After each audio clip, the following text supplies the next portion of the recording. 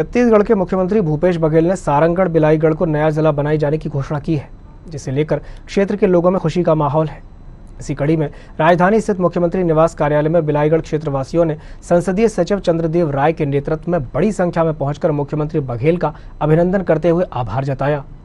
इस अवसर पर कृषि और जल संसाधन मंत्री रविंद्र चौबे, छत्तीसगढ़ खनिज विकास निगम के अध्यक्ष भी मौजूद रहे। आपको बता दें कि नया जिला के गठन से क्षेत्र के लोगों को जन कल्याणकारी योजनाओं का भरपूर लाभ मिलेगा। इस मौके पर कृषि मंत्री चौबे और संसदीय सचिव राय ने भी संबोधित किया।